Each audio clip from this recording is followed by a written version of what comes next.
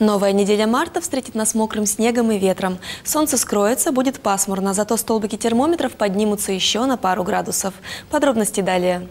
Наш выпуск представляет меховой салон «Арктика». В Арктике поступление новой весенней коллекции. В субботу в Челябинской области переменная облачность без осадков, ветер южный до 5 метров в секунду. О температуре в городах. Теплее всего в Магнитогорске, там всего минус 1, в Карталах 2 градуса. Троицкий, Златоустье, Садки, Южноуральский минус 3, а в Верхнем Уфалее 4 ниже 0. В последующие дни инициатива формирования погодных условий на Урале перейдет к западным циклонам. Солнце скроется и повсеместно пройдет сильный снег, а вот температура повысится.